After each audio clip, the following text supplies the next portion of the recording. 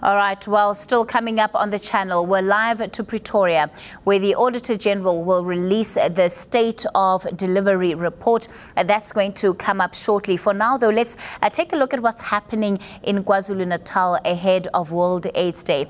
More than 5,000 South Africans will take part in a new HIV/AIDS vaccine efficacy trial. HVTN 702 is the only HIV vaccine efficacy trial in the world and is being conducted solely in South Africa. The vaccine will be administered over three years with the results out in 2020. That's where we find our reporter Judith Subban. She's in Verulam, north of Durban. This is one of the areas where it's being rolled out. Uh, good morning to you, Judith. We want to get a sense of what exactly is going on, especially with those who have been accepted to participate in this trial. There's been a lot of talk around the amount of effort that it's actually taken uh, to get to this point. And of course, at the recent AIDS conference, it was also uh, said that um, South Africa plays a key role in terms of discovering a vaccine for HIV/AIDS. So certainly uh, our, our role in all of this being amplified. And a vaccine trial like this certainly uh, puts us back on the map when it comes to the fight against HIV AIDS. So give us a sense of what those participants are going through right now. And if, if they realize that they could be part of uh, something historic here.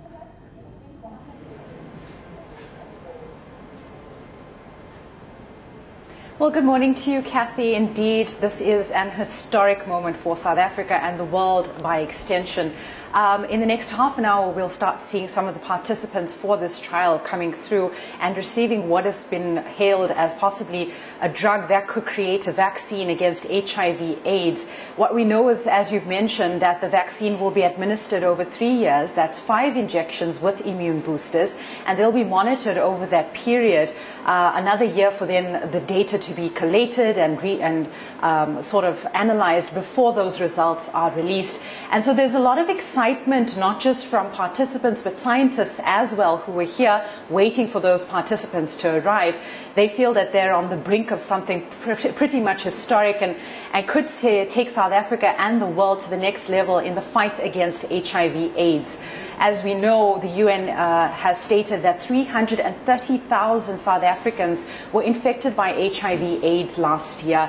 And although the country has the largest treatment program in the world, um, South Africa has oftentimes been criticized for failing to act uh, speedily in the fight against HIV AIDS when it first became uh, a pandemic.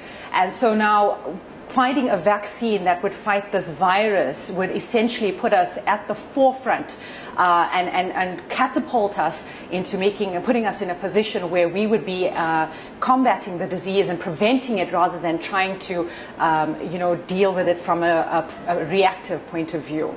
Uh, Judith, what do we know about the kind of criteria that these participants had to fulfill and is their lifestyle expected to change in any way in the next three years?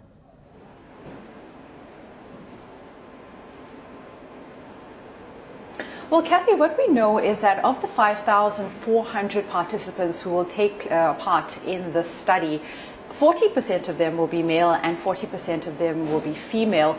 Um, there's a large uh, concentration or rather focus on the female contingent because as we know in South Africa, females between the ages of 18 and 25 carry the highest burden of HIV AIDS in the country. And so there will be a lot of regulation over their diet, their um, exercise routines, ensuring that the participants maintain a healthy lifestyle all of the participants will be HIV negative. And so that raises the question of how will we know whether the vaccine works? Well, scientists say what they will essentially do is administer a placebo plus the drug itself to two groups. And what they will do is at the end of the study, look at the number of infections in one group versus the number of infections in the second group and be able to determine the efficacy rate of the drug.